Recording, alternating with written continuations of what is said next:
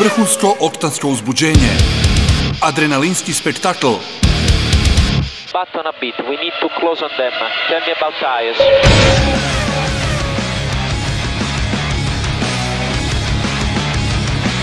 svjetsko prvenstvo u Formuli 1, velika nagrada Kine u nedjelju od 8.15.